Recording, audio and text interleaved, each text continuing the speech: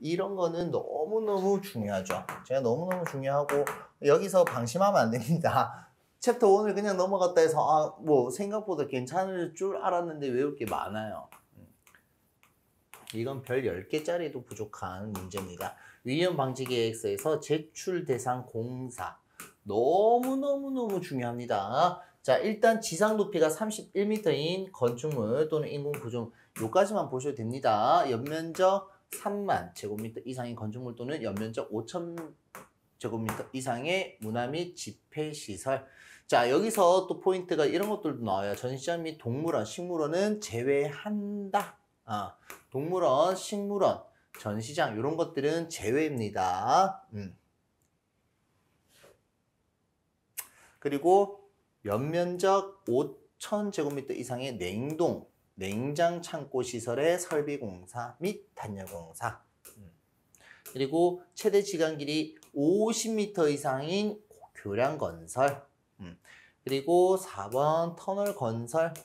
그리고 다목적 댐 발전용 이런 것들 저수용량 2천만 톤 이상의 어, 전용댐, 지방 상수도 전용댐 건설 등의 공사 그리고 깊이는 얼마 10m 이상인 굴착 공사 이거는 정말 정말 그냥 무조건 나온다고 보시고 암기하셔야 됩니다. 음. 그리고 이거는 사실 암기 안 하시더라도 문제 출제가 너무 많이 되다 보니까 우리가 몇, 어, 몇 개년 이제 문제를 풀다 보면 자연스럽게 외워져요. 네.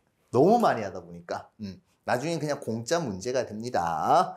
그리고 이거를 제출 시기는 공사 착공 전일까지 두부 제출하셔야 됩니다. 음, 요까지 같이 보세요. 음. 그리고 쭉 넘어갈게요. 어. 시험에 안 나올 만한 것들은 굳이 뭐 크게 잡지 않습니다. 아, 우리 계산 기준표 요거는 하나 봐두시는 걸 권장드립니다. 그리고 넘어가실 분들은 넘어가셔도 됩니다. 아, 어, 적용 범위는 건설업 산업안전 계산 및 사용해서 총 공사금의 2천만 원 이상인 공사에 적용한다. 어, 그리고 계산 기준은 요거는 좀 한번 읽어보세요. 어.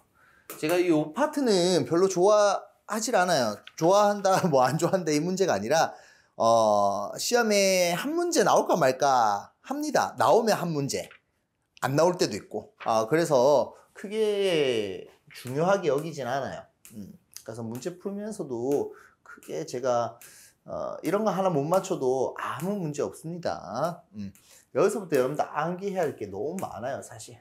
자, 추락재 방호 및 방지 설비부터 보겠습니다. 추락 방호막. 우리 추락 방호막의 인장 강도 무조건 암기하시고 시험에 무조건 나온다고 보시면 돼요.